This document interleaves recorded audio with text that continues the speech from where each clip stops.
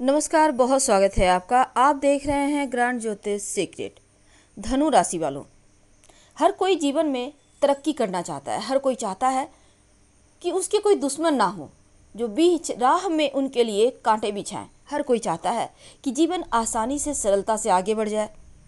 अब धनु वाले होते हैं बिंदास, इनके बहुत सारे दुश्मन होते हैं, क्योंकि ये सोचे, समझे बिना कुछ भी बोल देने की जो आदत है, जिसके कारण यहाँ पर हालाँकि शनि जिम्मेदार होता है, लेकिन इनके दुश्मन बढ़ जाते हैं।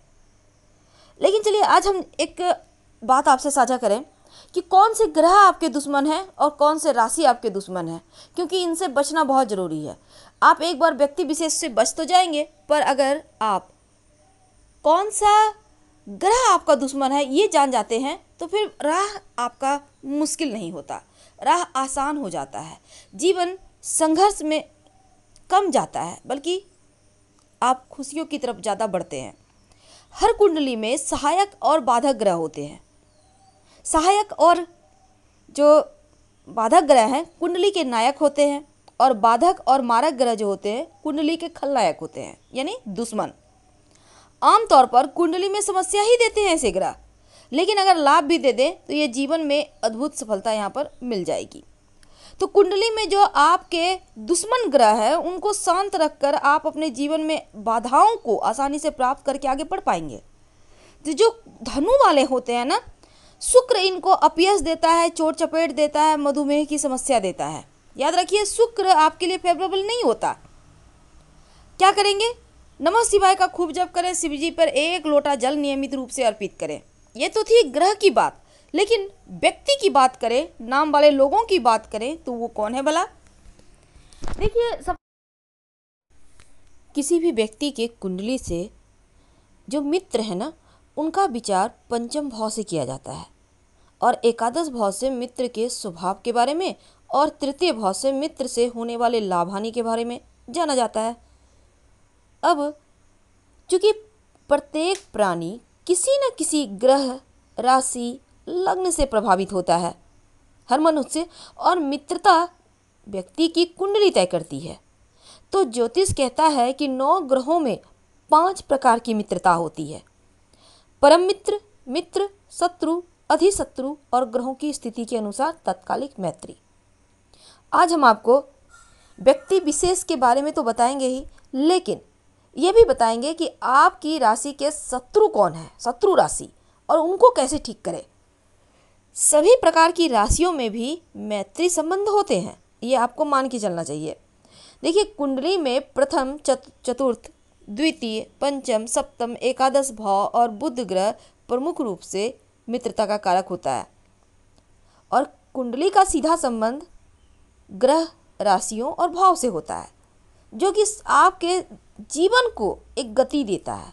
आप किधर जाओगे? कैसे रहोगे? संसार में चंदन को शीतल कहा जाता है, लेकिन चंद्रमा चंदन से भी शीतल है।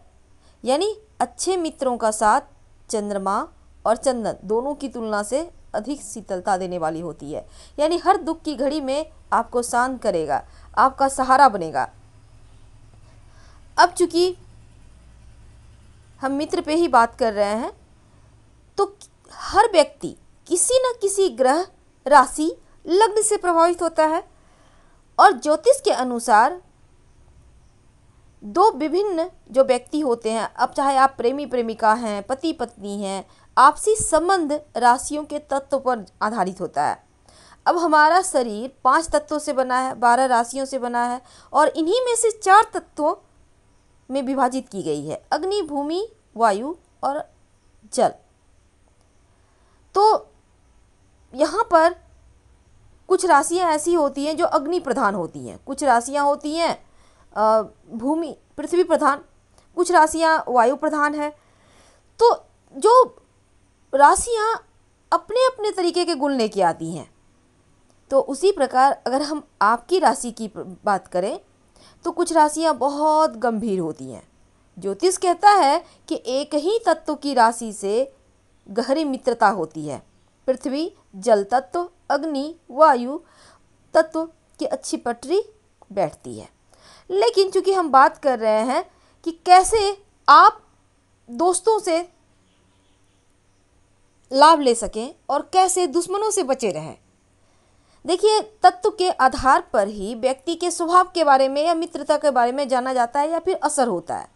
यानी हर पृथ्वी तत्व के लोगों का स्वभाव अलग होगा, अलग तरीके से दोस्ती निभाएँगे। आपके तत्व से वो मिल रहे हैं कि नहीं, तमाम चीज़ देखी जाती है। सिर्फ़ राशियाँ ही नहीं, ग्रहों की भी मित्रता महत्वपूर्ण होती है। क्योंकि नौ ग्रहों में जो सूर्य हैं, चंद्रमा हैं, जैसे सूर्य सिंह राशि के मालिक हैं, चंद्रमा कर्क राशि के मालिक हैं, मंगल मेष वृश्चिक के मालिक हैं, बुध मिथुन कन्या के मालिक हैं। गुरु धनु मीन के मालिक हैं, शुक्र वृषभ तुला के मालिक हैं और शनि मकर कुंभ के मालिक हैं। तो यहाँ पर शास्त्रों में ये कहा गया है कि कुछ ग्रहों में नेचुरली नैसर्गिक मैत्री होती है और किसी भी व्यक्ति की जन्म कुंडली में मनुष्य के आचरण स्वभाव के बारे में उनके नवांश कुंडली से जाना जाता है। अब इस दुनिया में जो मनुष्य है ना, वो विचित्र है, क्योंकि उनके चेहरे पर कुछ और होता है, अंदर कुछ और होता है। अब मनुष्य के स्वभाव को जानना बहुत मुश्किल है, क्योंकि ये देखने में बहुत सुंदर होते हैं, पर बड़े कपटी होते हैं, घमंडी होते हैं, ईगो वाले होते हैं, गंदगी से भरे होते हैं। तो ये चीज़ें हैं। अब यहाँ पर जैसे कि प्रेमी प्रेमिका है, पति पत्नी है, इनके संबंध कैसे होंगे? तो इसके लिए भी आपको बहुत गहराई में जाना होता है, इसीलिए तो कुंडली मिलाई जाती है, ताकि सोच मिले, विचार मिले। अब जो मंगल है, पीला रंग शुभ चीज़ों और मंगल से संबंध रखता है। अब आप कहेंगे, पीला रंग तो गुरु का है। ज्योतिष में पीला रंग गुरु को माना जाता है और पीले रंग का संबंध दोस्ती से होता है, रोमांस से नहीं होता। अब ज्योतिष कहता है कि दोस्ती को प्रेम में बदलने के लिए पीले रंग का प्रयोग लाभकारी होता है। तो वैवाहिक जीवन को बेहतर बनाने के लिए पीले रंग का प्रयोग नहीं किया जाता, लेकिन संतान नहीं है तो पीले रंग का खूब प्रयोग करें। अब जैसे कि हर ग्रह के अपने मित्र और शत्रु राशि होते हैं। अब जैसे सूर्य ग्रह हैं तो चंद्रमा मंगल गुरु मित्र होते हैं राशि और शनि शुक्र बुद्ध से सौम्यता का संबंध होता है। और इसी प्रकार अब हम तमाम राशियों से देखते हैं कि उनका संबंध किन से है। कौन मित्र हैं, कौन शत्रु हैं? तो आज हम उसी अनुसार आपको बताएँगे कि आपकी राशि से जो जैसे कि मित्रता का प्रमुख भाव एकादश भाव होता है अब जितने अच्छे आपके ये भाव हैं, उतने ही अच्छे मजबूती दोस्ती होगी। एकादश भाव में मंगल है तो मित्र, खिलाड़ी, पहलवान हो सकता है। तो चलिए, आज हम जानते हैं कि कौन सा ग्रह आपके लिए कमज़ोर है और कौन से ग्रह से आपको बचना होगा। ये तो थी ऐसी जानकारी जो आपको जानना अति आवश्यक है। अब हम ये जानते हैं कि अगर आपके लिए कौन सी राशि अच्छी नहीं है, कौन से लोग आपको धोखा देंगे कौन से लोग आपके शत्रु होते हैं? अब धोखा की बात। धोखा देना और विवाह, प्रेम संबंधों के मामलों में परेशानियाँ आना, दोनों दो बातें हैं। लेकिन फिर भी आपको संभल के तो रहना होगा। तो जो धनु वाले हैं ना, इनको धोखा मिलता है सबसे ज़्यादा व्यवसाय के मामले में, ज़मीन जायदाद के मामले में। और ये किसी की नहीं सुनते। बिज़नेस के मामले में भी धोखा मिलता है। यानी आप पार्टनरशिप में बिज़नेस कर लिए या फिर व्यवसाय में आपके स्टाफ ही हैं, आप किसी पर ज़रूरत से ज़्यादा भरोसा कर लिए, यहाँ आपको धोखा मिलेगा। ज़मीन जायदाद प्रॉपर्टी के मामलों में यहाँ भी आपको धोखा मिलेगा। तो बिज़नेस में धोखा मिलता है, ज़मीन जायदाद के मामलों में धोखा मिलता है, बचने के लिए क्या करेंगे? किनसे मिलता है? वृषभ राशि, कन्या राशि, मकर राशि। ये आपको धोखा देंगे ही, चाहे जैसे भी दें।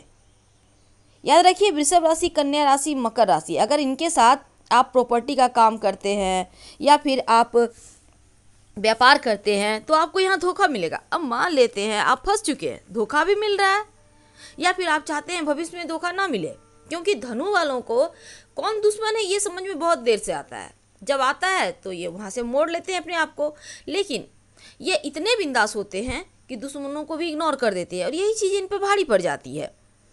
लेकिन अगर हम आपके वैवाहिक जीवन की बात करें कि यहाँ शत्रु कौन है जो आपको हर हाल में परेशानियाँ ही क्रिएट करते हैं आपके जीवन में। देखिए, अगर हम विवाह की बात करें तो शुरुआत में इनको वैवाहिक जीवन में बहुत दिक्कतें होती है। और बाद में धीरे धीरे अच्छा होने लगता है। यहाँ भी आपको वृषभ राशि, तुला राशि और कुंभ राशि। याद रखिए, वृषभ राशि, तुला राशि, कुंभ राशि। यहाँ पर तुला और कुंभ आ गया। वहाँ पर धोखा में था कन्या और मकर। हालाँकि कन, कन्या राशि से आप विवाह कर सकते हैं लेकिन फिर भी यहाँ धन के मामलों में आपको संभल के रहना होगा। एक बात मान के रखिएगा। लेकिन देखिए वृषभ तुला और कुंभ राशि शत्रु राशि है। विवाह करने से बचिए। अब मान लेते हैं विवाह हो गया वैवाहिक जीवन में बहुत परेशानी है। तब क्या करेंगे? तब ये सिर्फ़ विवाह के लिए नहीं है ये सिर्फ़ पार्टनरशिप में धोखा के लिए नहीं है। लव लाइफ में भी संभल के रहिएगा, क्योंकि ज़रूरत से ज़्यादा भरोसा किसी पर ना करें। कोई व्यक्ति आपका सगा नहीं है, हर कोई आपका इस्तेमाल कर रहा है, ये आपको समझना होगा।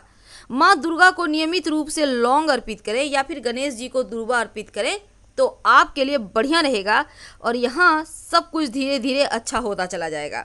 धन्यवाद, हम फिर मिलेंगे।